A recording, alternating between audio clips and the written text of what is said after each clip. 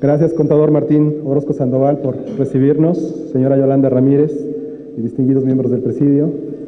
La verdad es que para mí es todo un honor poder estar aquí en Aguascalientes. En, este caso, para mí es la primera vez que estoy aquí